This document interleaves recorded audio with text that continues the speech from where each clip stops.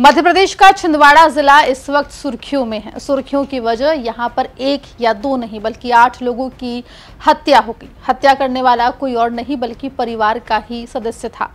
वहीं बता दें कि इस मामले में एक घायल बच्चा जो है, जो इस पूरे हत्याकांड के दरमियान घायल हुआ था, उसको अब डिस्चार्ज कर दिया गया है।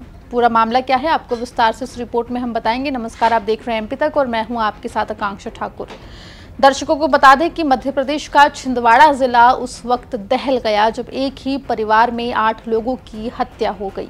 यह हत्या की थी दिनेश उर्फ़ भूरा ने, जिसकी पिछले 21 तारीख को, यानी 21 मई को शादी हुई थी। शादी के लगभग छह दिन बाद भूरा ने आधी रात में अपने पूरे परिवार वालों की हत्या कर दी, साथ ही साथ नवविवाहिता पत्नी वर्षा की भी हत्या कर दी।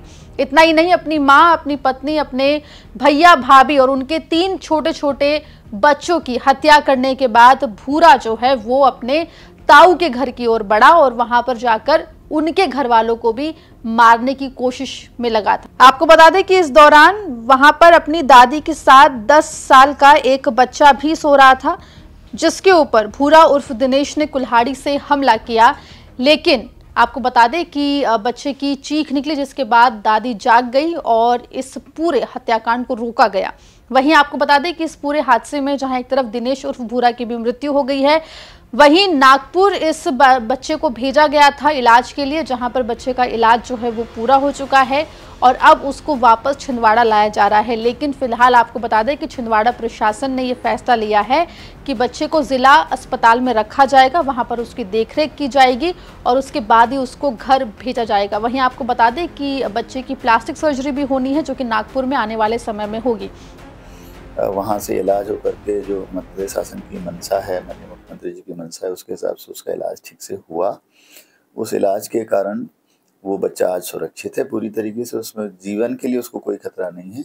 परंतु फिर भी हम लोगों ने उसके अच्छे से रिपेयर हो जाए, जो उसको घाव हुआ है, ठीक से उसका जुड़ जाए, जो उसकी हड्डियाँ वगैरह में प्रॉब्लम है, उसके कारण मैंने खुद ये निर्णय लिया डॉक्टरों की टीम के साथ विचार विमर्श करके कि उसको घर जाने से बजाय यहीं पे उसको रोका। है इसलिए उसको एक प्राइवेट वार्ड में रखवा दिया गया है। मैं खुद भी वहाँ पे था उनके मा, माता पिता से और उसके साथ जो उनके कुछ रिलेटिव्स थे एक सरपंच हरकपुर आते वो भी थे। फ़िलहाल इस पूरे मामले ने जहाँ एक तरफ़ छिंदवाड़ा को दहला दिया है वहीं सवाल ये उठ रहा है कि आखिर ऐसी क्या वजह रही जो अपनी शादी के कुछ दिन बाद ही भूरा उर्फ़ दिनेश ने अपने पूरे परिवार वालों की हत्या कर दी। इस मामले में पुलिस फ़िलहाल जो है वो जाँच की बात कर रही है। जो भी अपडेट इस मामले में होगा वो एमपी तक आप तक लेकर आएगा। खबर छिंदवाड़ा से आप तक पहुंचाइए। सहयोगी पवन कुमार शर्मा ने मध्य प्रदेश जुड़ी तमाम खबरों के लिए बने रहिए एमपी तक के साथ।